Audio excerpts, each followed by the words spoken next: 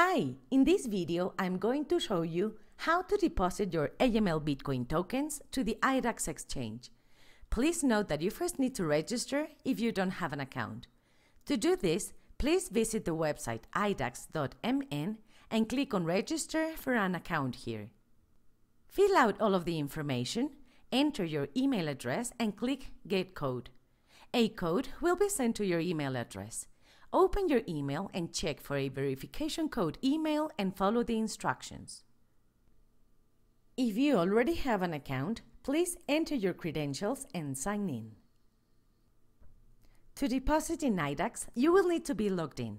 Click on Assets and then click on Balance and scroll down until you find AML Bitcoin, which is ABTC.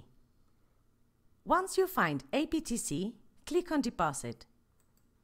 Please copy this wallet address and then open your AML token wallet and paste it under the label Pay to.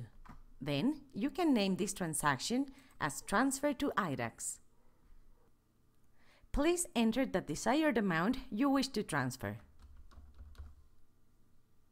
Please note there is a fee which will be displayed at the bottom of your AML wallet. Then complete the transaction.